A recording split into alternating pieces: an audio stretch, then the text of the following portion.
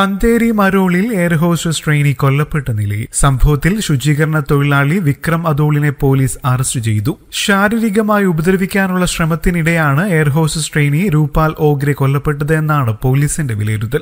അർദ്ധദഗ്നമായ നിലയിൽ കുളിമുറിക്കുള്ളിലാണ് യുവതിയെ കൊല്ലപ്പെട്ട നിലയിൽ കണ്ടെത്തിയതെന്നാണ് റിപ്പോർട്ട്. കഴുത്തിൽ രണ്ട് മുറിവുകൾ ഉണ്ടായിരുന്നു ചോരയിൽ കുളിച്ച നിലയിലായിരുന്നു മൃതദേഹം.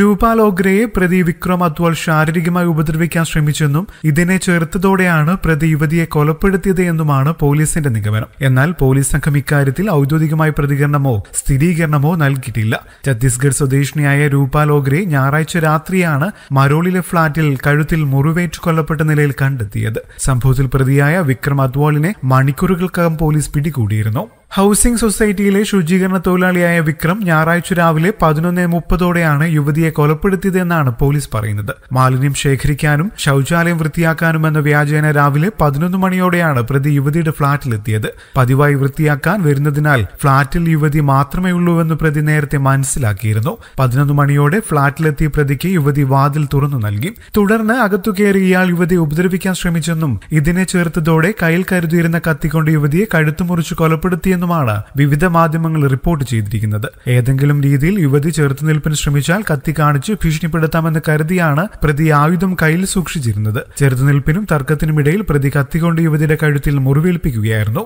പിടിവലിക്കിടെ പ്രതിയുടെ മുഖത്തും കയ്യിലും പരിക്കേൽക്കുകയും ചെയ്തു. യുവതിയെ പരിക്കേൽപ്പിച്ച ശേഷം പ്രതി ഫ്ളാറ്റിൽ തറ മുഴുവൻ കഴുകി വൃത്തിയാക്കി. ഇതിനു പിന്നാലെ ഓട്ടോലോക്ക് സംവിധാനം ഓൺ ചെയ്ത ശേഷം വാതിലടച്ച് പുറത്തുപോയി. തുടർന്ന് ചോരപുരന്റെ യൂണിഫോം കഴുകി വൃത്തിയാക്കുകയും മറ്റൊരു വസ്ത്രം ധരിക്കുകയും ചെയ്തു. ഉച്ചയ്ക്ക് ഒന്നരയോടെ അപ്പാർട്ട്മെന്റ് സമുച്ചയത്തിൽ നിന്നും വീട്ടിലേക്ക് മടങ്ങുകയും ചെയ്തു. തൂങ്കയിലെ വീട്ടിലെത്തിയ പ്രതിയോട് കയ്യിലെയും മുഖത്തെയും പരിക്കിനെ കുറിച്ച് ഭാര്യ തിരക്കിയിരുന്നു. എന്നാൽ ജോലിക്കിടെ ചില്ലു പൊട്ടി പരിക്കേറ്റെന്നായിരുന്നു പ്രതിയുടെ മറുപടി.